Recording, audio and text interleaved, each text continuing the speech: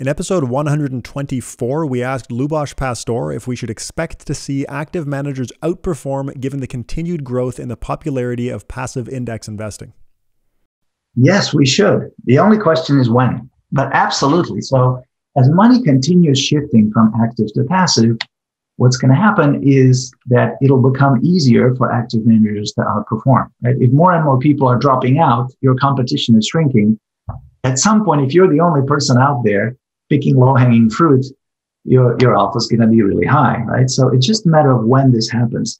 So I think as soon as we see a couple of years of um, outperformance by active managers in aggregate, um, you know, it'll be a hint that perhaps we have achieved that equilibrium state of the world in which investors should finally be roughly indifferent between active and passive. For a long time, um, we've been in a state where active has been too big relative to passive. And that's why its alpha has been negative.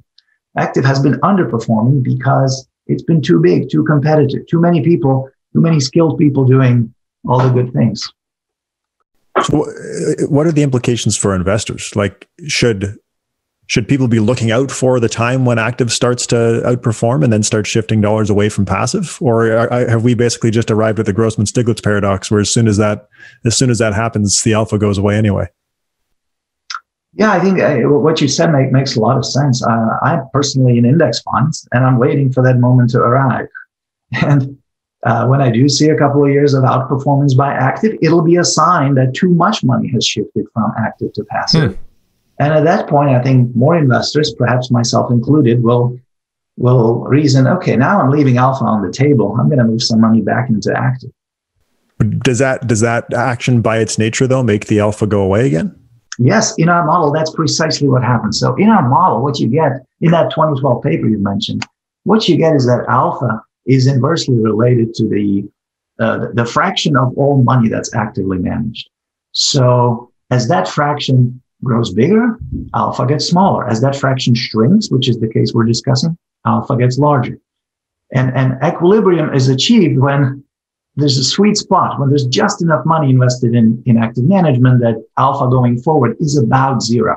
It should really be slightly positive to compensate investors for, you know, the slight amount of risk um, in active management. I mean, residual risk. Uh, but if it gets close to zero, then investors will be roughly uh, indifferent between active and passive.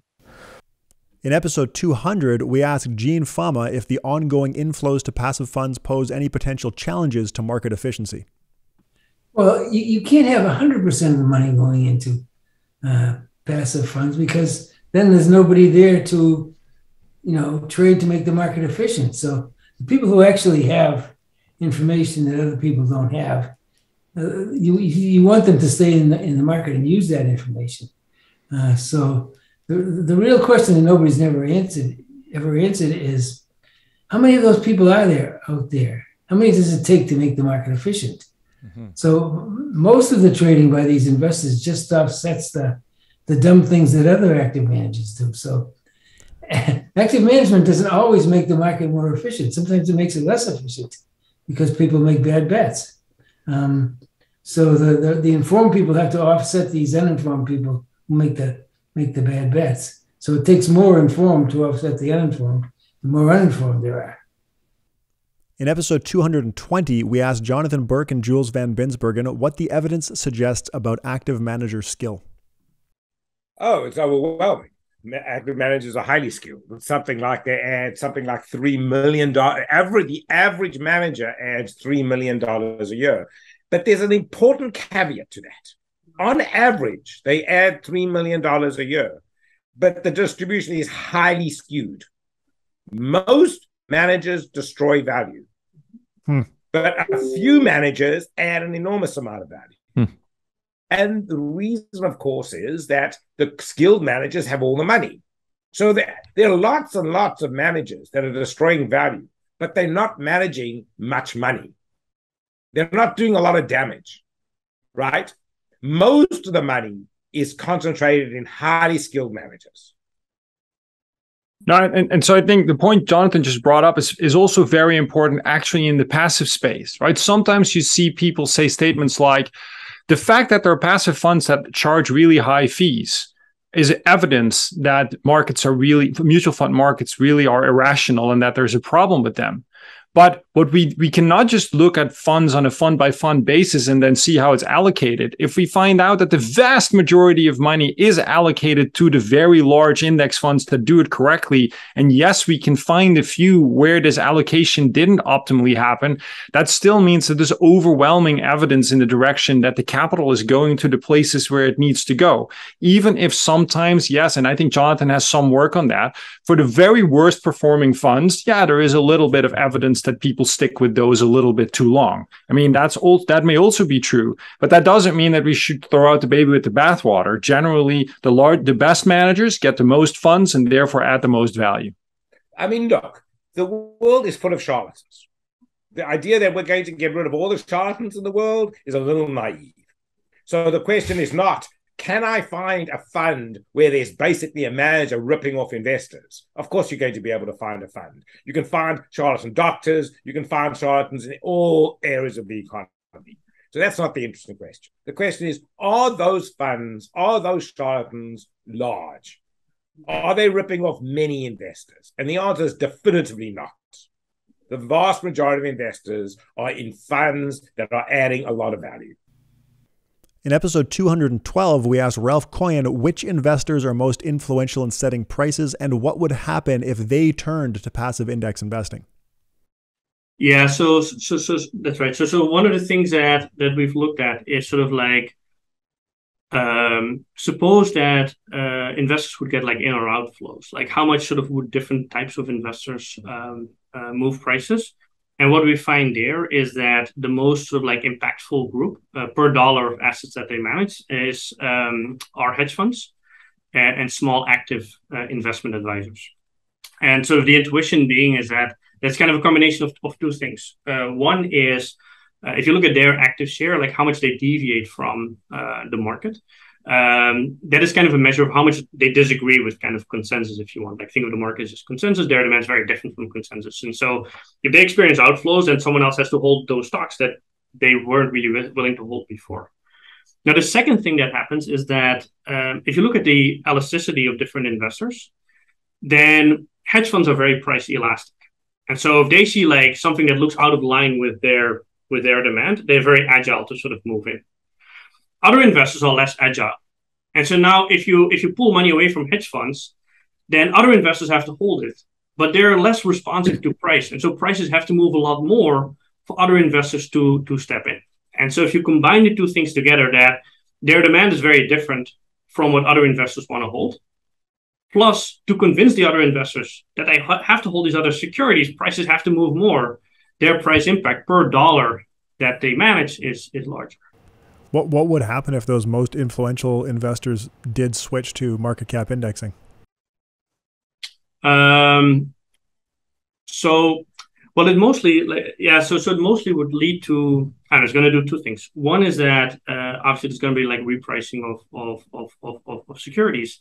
The second thing is it would make the market more inelastic, and so so because essentially like the elasticity of the whole market is a valuated average of the elasticity of each and every investor.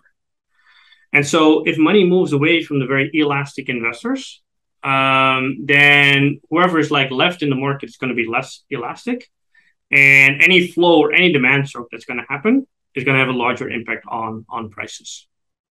And so that's also where the whole debate about sort of like active versus passive is, is, is, is kind of like a, a hard one to settle in the sense that like if you want to sort of know whether like like the, the growth in passive has made the market more elastic or or not it really depends on like where the money came from. Like if the money came from very sleepy buy and hold households who rebalance their 401k one once every seven years, uh, maybe it made the market actually more elastic if hmm. they if they hold certain like like wow. strategies versus if they if it came from very agile hedge funds, it's a different story. We then asked Ralph about the pricing influence of Vanguard, well known as the pioneer of index investing and a current giant in the space. And how influential is a huge firm like Vanguard in setting prices? Well, um, if they just hold the market, let's sort of like for, for argument's sake, so say that they're and the, the market share very low. So let's say that they're close to holding the market. They're not that influential in setting sort of the, the, the cross section of, of prices, um, but they do lower the elasticity of the market as a whole. And so it goes back to this argument where like the overall elasticity of the market is the, is the valuated average across all the investors. Now, if you're a pure index fund, the elasticity that you provide to the market is zero. Because if like if, if, if GameStop goes up like by a factor of 10, you just sort of like hold on to it. If you're pure market in market in market weighted investor. And so as a result, sort of like like like if you move money from the active to passive funds, um, um, like or, or to like the bankers, like it's going to sort of like like like make things potentially more uh, more inelastic. Um, but that in terms of like how much their own sort of like flows are going to move like like the cross section of prices, the answer is going to be very little. Uh, and that goes back to the to this the conversation we had, like for instance, in 2008, they just scaled down all stocks in proportion to to the market cap, and that's going to have like a pretty even effect on prices. Finally, and I think really driving home the point in the accompanying video on my YouTube channel, we asked Ralph if index funds are distorting market prices and making markets less efficient. So it's it's it's not obvious. Yeah, so it's, it's not very obvious to me. Like in the sense that like like um, um, in terms of like an impact on elasticity, um, um, I think there um, there is some evidence that that that they may have. Um, in terms of like directly distorting prices and making markets like less efficient or something like that. Um, from what I know, I think there's there's at least from our calculations, that's not something that we that we see. If you look at sort of like like going back to what we talked about before, if you look at sort of like like where the money came from um, that went to passive investors and see whether it came from investors who are systematically more or less informed about future fundamentals, uh, that correlation is like essentially zero. And so it's not that systematically like it, it it went sort of like similarly from like like informed and uninformed investors to more passive institutions and so so given the absence of that of that correlation um at this point i don't think there's much evidence to that i'm aware of at least. Like maybe there's other evidence i don't know. But based on on that calculation uh, it's, it's not that obvious to me. Thanks for watching. If you came here from my other channel it's great to see you over here a lot of the learning that I do personally and eventually talk about on my other channel happens right here in conversation with Cameron and the many brilliant guests that join us for podcast episodes. If you enjoyed these discussions, there are lots more on the channel with experts in financial economics, human behavior, happiness, and all sorts of other areas relevant to financial decision making. If you haven't already, I hope you can check some of them out.